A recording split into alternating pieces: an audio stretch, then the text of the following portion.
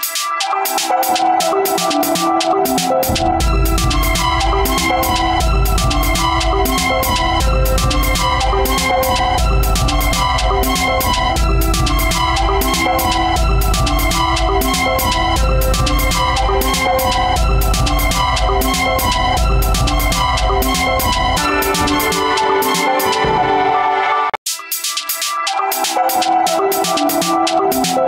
У Дніпропетровському історичному музеї проходить виставка скульптур для людей з вадами зору. Вона отримала назву Торкаючись бачу великі українці. Тут представлені 12 скульптур визначних постатей нашої країни. Треба відзначити, що автори проекту намагалися створити усі представлені бюсти максимально майстерно, аби люди з обмеженими можливостями мали змогу тактильно відчути деталі зовнішності тієї чи іншої постаті. Ідея цього заходу виникла у співробітників Львівської академії мистецтв. Мы сталкиваемся с тем, что люди, которые со слабым зрением э, или незрячие, они не имеют возможности познакомиться с известными людьми, с известными экспонатами. И вот предложение львовских художников для нас действительно было открытием и возможностью открыть новые грани для людей с ограниченными возможностями. Мы с удовольствием пригласили авторов э, этой выставки, с удовольствием их разместили. Експозиція містить скульптури видатних українців різних епох. На ній представлені постаті Олександра Довженка, Андрія Шептицького, Григорія Сковороди. Серед сучасних Георгій Гонгадзе та Сергій Нігоян. Для того, щоб відвідувачі мали змогу дізнатися більше про цих особистостей, неподалік розмістили інформаційні матеріали, написані шрифтом Брайля. Також додаткову інформацію гості можуть почути за допомогою спеціальних навушників. Участь у записі цих матеріалів взяли відомі українські артисти. Нам хотелось бы сделать такую маленькую социальную реабилитацию, если так можно сказать. Во-первых, чтобы они почувствовали себя такими же обычными людьми. Могли приехать в музей, посмотреть, я так и говорю, посмотреть эти скульптуры, послушать голосами наших ведущих акт- артистов. Это и Пономарев, Ирина Билок, и Ольга Сумская, которые написали информацию о том, чья, чья это скульптура, чем выдающийся этот человек. И таким образом почувствовали себя нужными всем нам. Основна мета заходу надати людям з вадами зору можливість відчути себе на рівні з іншими. У нашій області зазначають організатори, мешкають 13 тисяч таких громадян, і всі вони потребують підтримки. Выставка – это еще один момент, когда люди могут э, собраться вместе, могут пообщаться, могут познакомиться и для себя получить еще какую-то дополнительную новую информацию. Експозиція працюватиме 10 днів. Вхід вільний. Об'єктив 27 канал.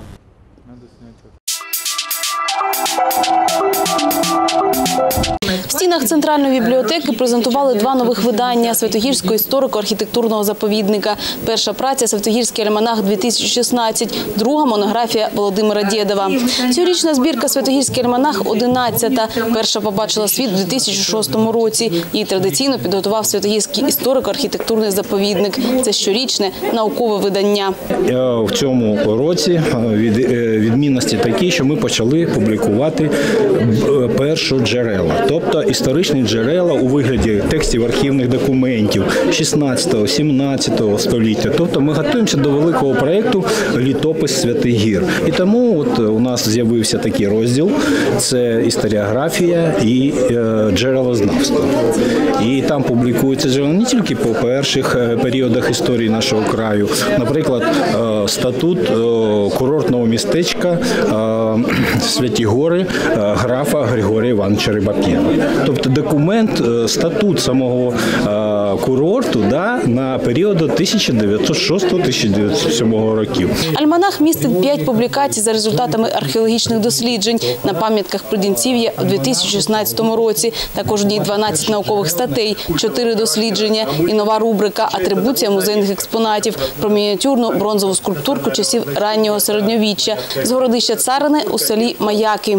Що ж до монографії Святогірський історико-архітектурний заповідник збереження, дослідження, реставрація культурної спадщини його підготував Володимир Дєдов. Воно присвячено діяльності заповідника з 1980 по 2015 роки. Ми змогли залучити керівництво Святогірської ради, і воно зрозуміло це. Більш того, у монографії вступна частина е, мера міста Олександра Івановича Дзюби, тому що він сам е, власноруч приймав участь в організації заповідника в 1980 році, бо він тоді ще був мером, розумієте? Тому він всіх знав, все пам'ятає, що тоді було. Ви знаєте, в нашому віці ми пам'ятаємо, що тоді було, але не пам'ятаємо, що було вчора. За словами Володимира Дєдова, видання щедро ілюстроване містить не лише світлини пам'ятників різні часи існування, а й креслення та карти.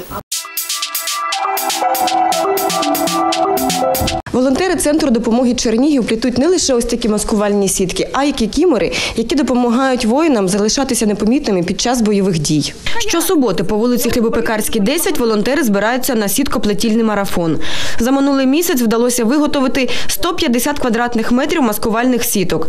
Зараз працюють над зимовим варіантом білого кольору. Як потеплішає, будуть плести зелені. Увесь підручний матеріал отримують завдяки небайдужим чернігівцям. Ткань э, мы э, ищем у людей, которые занимаются шитьем.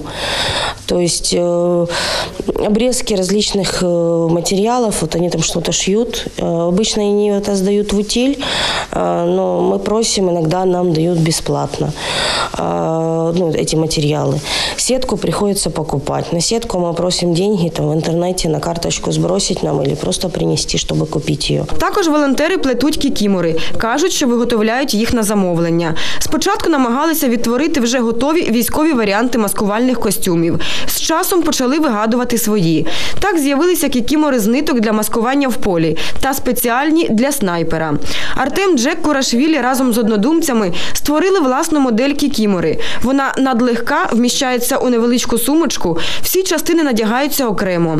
Цей маскувальний костюм складається з маски, накидки, рукавиць, навіть є штанини. придумывали новую модель. В итоге зашел знакомый, говорит, о, говорит, так я говорит, вот такое видел на американском сайте, практически один в один. Сбрасывает ссылку, ну, оно не один в один, но по смысловой нагрузке то, что мы собрали. А ще волонтери виготовляють спеціальні горілки для обігріву окопів та бліндажів або ж для приготування їжі. Горелка выглядит вот так. Вот такая обычная баночка. Это были, наверное, м, там, кукуруза или горошек по размеру. Вот. Она наполняется обычным гофрированным картоном, то есть кусками коробки, и заливается парафином. Значит, в результате получается горелочка, э, ну, она горит очень долго. Вот такая банка будет гореть часов 9-10. Ольга Палькова розповіла, що 29 січня невідомий чоловік розбив вікно та проник у волонтерський центр. Через те, що брати там особливо нічого, зловмисник прихопив із собою чайник, катушку капронових ниток, забрав усі ножиці, навіть поцупив гачок для плетіння. Зараз горе крадія розшукує поліція.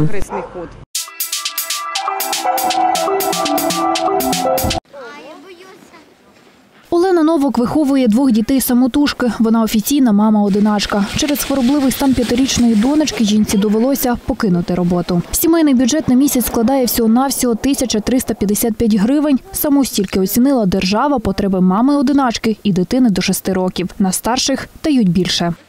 Як дитина захворіла, я зразу пішла вже на лікарняні, на часі лікарняні. От не вистачає ні на ліки, ні на одяг, ні на харчування. Не знаю як. Якось виживаємо. Копієчка до копієчки. Спочатку найнеобхідніші дитячі ліки, вже потім харчі і непомірне комірне. Одяг, косметика, перукарні, одним словом, все жіноче, лише в мріях.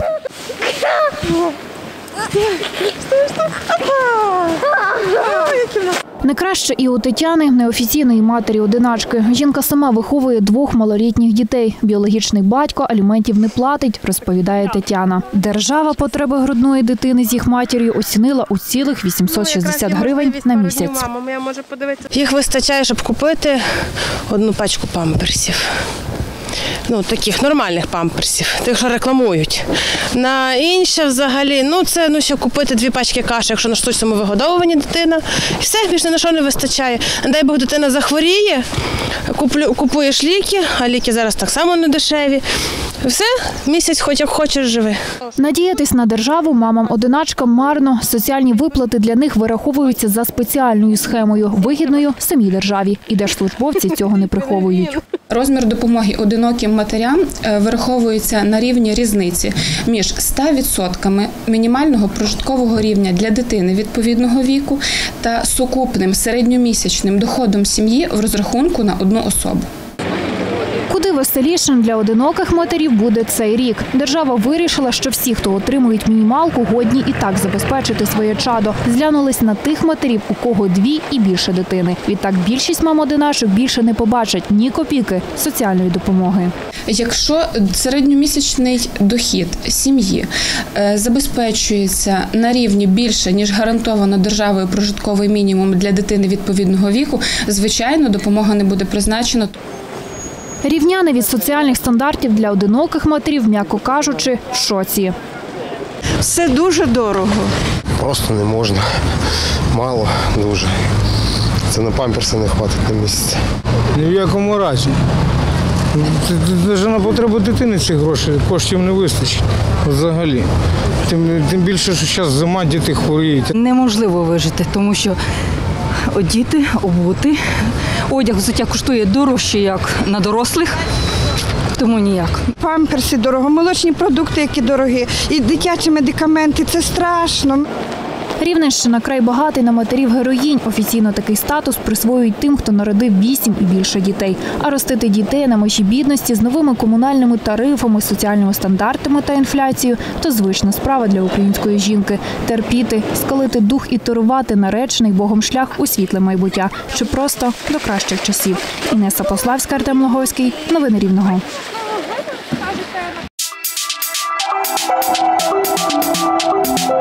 Профессор философского факультета Киевского национального университета имени Шевченко Вахтанг Кибуладзе говорит, что в последнее время он все реже использует понятие философ и все чаще интеллектуал. Як на мене, в сучасній гуманітаристиці найцікавіше відбувається на перетині різних дисциплін: філософії, соціології, культурології, мистецтвознавства, літературознавства тощо. Насамперед це критична роль.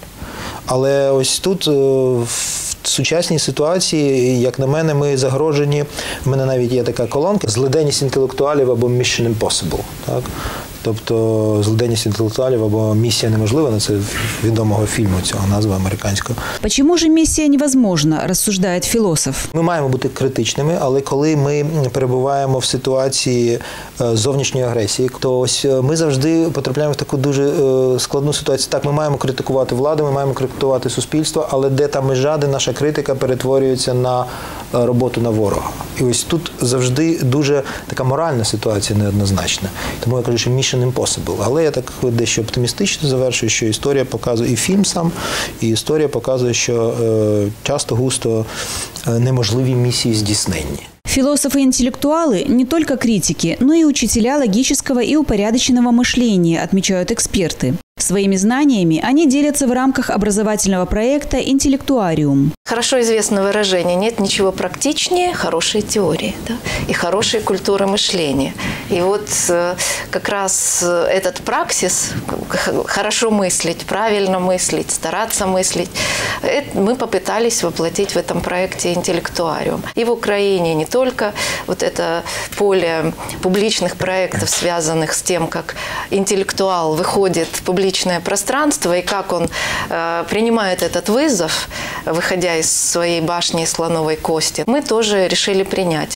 Проекта «Интеллектуариум» есть крылья и якорь, говорит Инна Голубович. Крылья, вот такое что-то легкое и связанное с желанием, с желанием молодых студентов, выпускников, э, небольшой группы выпускников одесских вузов, которым страшно не хватило э, во время их обучения вот этой информации именно э, в, в- самих курсах философии или каких-то других гуманитарных, вот этой составной части культура мышления, практическая логика, практическая и теоретическая. Одна из важнейших таких основополагающих, э, ос- основополагающий фундамент общества – это и культуры свободного мышления, это как можно четче и точнее давать дефиниции употребляемым понятиям.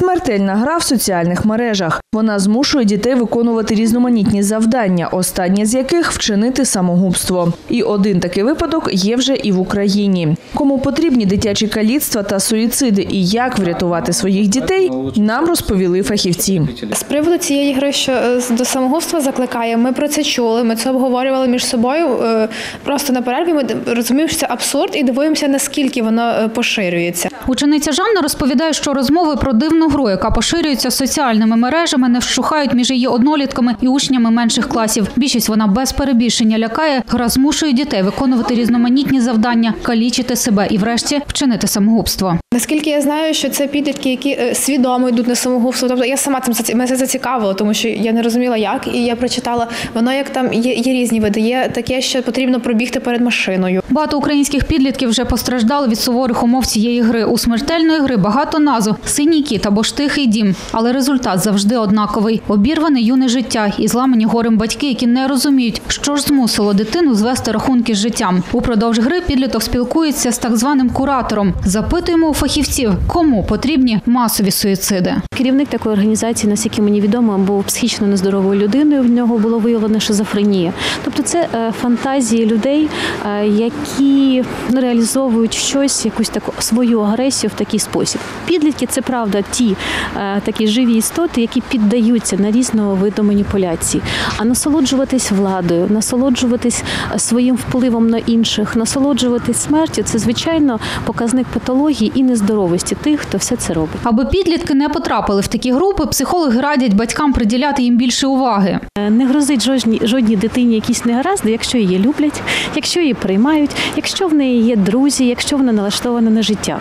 Тому в першу чергу нас хвилюють дітки, які е, замкнулися, і які перестали розмовляти зі своїми друзями. Ми звичайно дивимося, якщо є якісь порізи, це взагалі не є дуже хорошим сигналом. Це сигнал автоагресії, і це свідчення того, що в дитини дуже багато агресії е, накопичилось, і вона намагається щось з собою зробити. Якщо ви надто хвилюєтесь за свою дитину, то поцікавтесь, які сайти вона відвідує і чи не захоплюється небезпечними іграми. Як це зробити, розповідають фахівці. В любых э, веб-браузерах э, Есть э, история, то есть где ребенок э, открывал те или иные страницы, оно сохраняется в истории браузера. То есть любой браузер, э, Google Chrome, Mozilla, Firefox. М, Как правило, можно найти, зайти в историю с помощью горячих клавиш, Ctrl-H или Ctrl-Shift-H, H, или зайти в настройки, история, и это все будет известно. Щоправда, деколи підліткам вдається замести сліди. Також фахівці радять Желательно все же э, аккаунт в социальной сети родителю регистрировать самому, так как он э, будет э, прикреплен к его номеру телефона. Соответственно, в любой момент, если даже ребенок поменяет э, пароль и логин, родитель сможет его восстановить. И он будет, в- ему будет известно пароль и логин, соответственно. И сможет зайти проконтролировать своего ребенка. Не чекаючи наслідків, батьки повинні пояснити дитині, яку шкоду можуть завдати дитині, яким чином можуть негативно використані бути її, в тому числі анкетні дані, от, яким чином е, дитину можуть тягнути вчинення правопорушення, яким чином може бути завдана шкода не тільки дитині, а й її сім'ї. Якщо буде в тому потреба, правоохоронці закликають звертатись по допомогу. Коли стає відомо про якісь протиправні просягання чи е, бажання осіб е, порушення закону маніпулювати поведінкою чи свідомістю дитини, в таких випадках негайно звертатися органи за, за наявності найменшої е, підстави хвилюватися за долю дитини. Оля Андрійська, Анатолій Яроцький, Чернівецький репортер, телеканал Чернівці. Коли кохання не може чекати в Івано-Франківську, перша пара одружилася за добу у самісінький день Святого Валентина. Біля входу до міської ратуші молодят Ірену та Павла урочисто зустрічають під музичний супровід трембіти.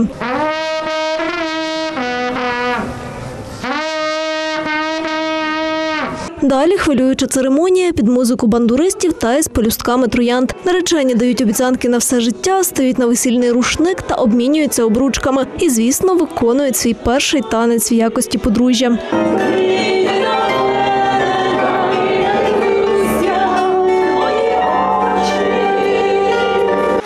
З Івано-Франківська, Павло з Кривого Рогу. Разом вони вже сім років мешкають у Києві. Одружитися вирішили спонтанно. За день до того подали заяву і стали першою парою, що зареєструвала у столиці Прикарпаття шлюб за добу. така е, можливість взагалі розписатись за е, там от за добу.